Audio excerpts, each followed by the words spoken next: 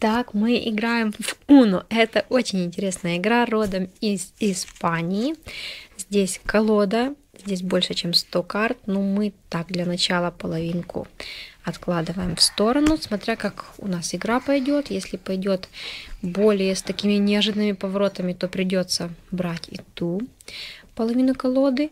Ну и теперь мы берем по 7 карт, каждый игрок. 4, 5, 6, 7. Сразу предупреждаю, что я сейчас буду играть в эту игру с профессионалом. И в оригинале в игре я не открываю своих карт, но сейчас такая ситуация, что мои карты открыты. Естественно, мой противник видит, что мне подкладывать и что мне заказывать. Э, напротив колоды выпала карта зеленого цвета номер 3. Это означает, что мы должны э, класть карту или зеленого цвета, или того номера, другого цвета, но того номера, который там есть. Итак, у меня есть вот этого цвета пятерка. Ну, вообще-то это зеленый, но как бы камера передает такой интересный цвет. Э, Алина, что у тебя? Так, Алина вот такой ходит ход. Это означает, что я пропускаю ход. Ну, естественно, как бы кто быстрее избавится от всех карт, тот и выиграл номер 9 или зеленый. Я тоже хочу, чтобы мой противник пропустил ход. И выкладываю номер 5 и И номер 5 это ты подкидываешь. Если такая же карта, можно как бы ее подкидывать. И номер 9. Ну, у меня есть номер 9 красного цвета.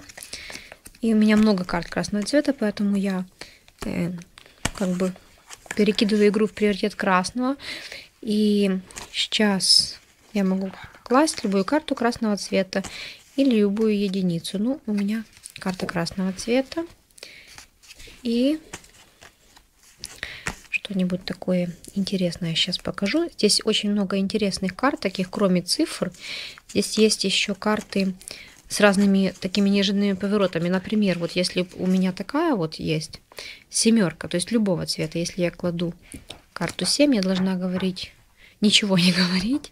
Э, кто быстрее, кто последний покладет руку на колоду, тот берет себе еще одну карту. Естественно, то есть уже шансы избавиться быстрее от всех карт и выиграть у как бы уменьшаются у противника.